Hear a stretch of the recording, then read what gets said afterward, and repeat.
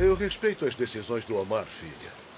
Mas se ele continuar insistindo nessa história do aplicativo grátis, eu vou ter que intervir. Tem razão, pai. Mas o Omar sabe o que faz e você sabe disso. Então, vamos dar um voto de confiança pra ele. Bom dia. Chegou o papo furado agora. Eu posso saber onde foi ontem, hã? Você nem dorme e também não fica acordado. Você chegou de viagem de Londres depois de um tempão e nem ligou para vir cumprimentar o seu pai? Ô, pai, não precisa ficar assim. Eu tô aqui. Não, não, sai, sai, sai. Para com isso. Para onde você foi depois que chegou? Calma, eu não fiz nada demais. Eu só tava com saudade da cidade e fui dar uma volta. Aí eu encontrei o Omar e a gente parou num bar. Sei. Tá vendo só, Carla? O Omar é mais importante que eu. Poxa, pai, não fala isso, por favor. Ai, ai, ai, ai, ai, Aline, obrigado. Você é demais. Ah, eu faço tudo pelo meu menino. Não precisa mimar o César desse jeito. Eu só vou mimar um pouquinho. Fazia tempo que a gente não se via. Eu tava com saudade do meu bebê. Bom apetite, querido. Muito obrigado. Pelo menos aprendeu alguma coisa com ele? Hã? Quem dera tivesse um filho como o Omar. Felizmente você tem um filho como o Omar, pai. Eu queria falar com você sobre isso. Como o Omar, eu também quero lançar o meu aplicativo.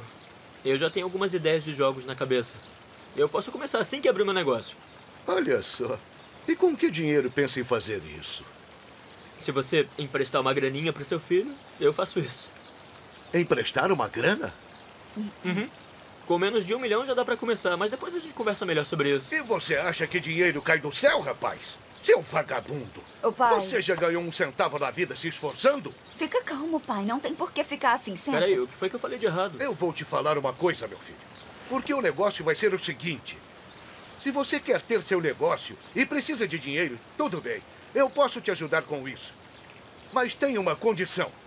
Primeiro você vai ter que trabalhar agora. Vai trabalhar como todo mundo faz. Se esforçar na nossa empresa por pelo menos seis meses. E isso não é nada demais.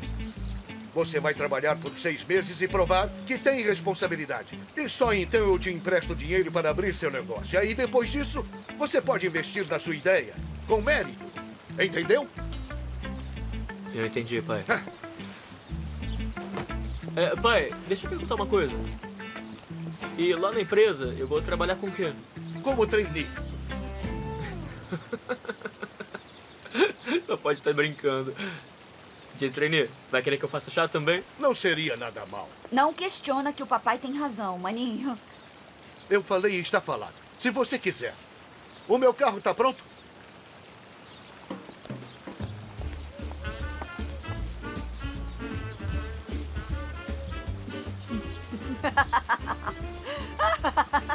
Ai, dessa vez você mereceu, César. Mereceu. Carla. Você mereceu muito. Ô, Carla, eu já tô velho pra trabalhar de trainee.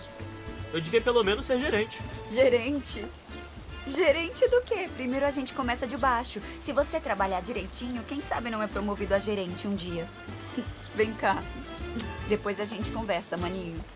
Eu não fiquei anos estudando pra nada. Poxa, pai. Hum.